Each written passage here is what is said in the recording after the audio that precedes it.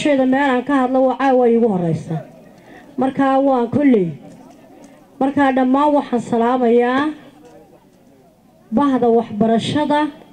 macalimiinta maamulayaasha agaasimo wax kastaba macalimiinta bahda waxbarashadaan u horeysiinaya salaada marka labaad waxaan ku darayaa dhallinyaradan quruxda badan ee ka soo qayb gashay daadfurkan ee qiimaha badan halka neecawda leh ee qabow ee fiican ee dadkaygii dhiikar kala caawa waaba raaxaysta aniguye ninka noo sameeyeyna ilaahay ka saaysiiyo waxa weeyaan annagu haddaanu waalidiintii nahay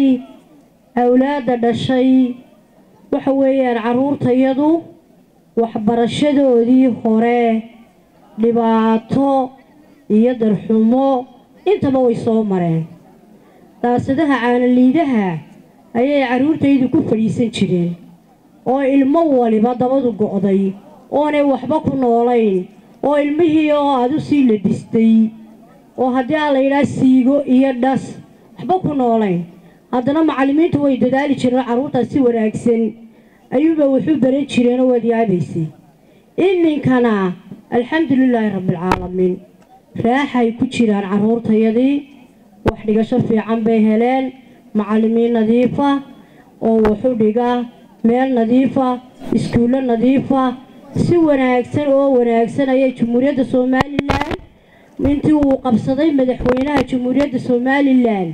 aad iyo aad wasiiradii soo maray maamulayaashii soo maray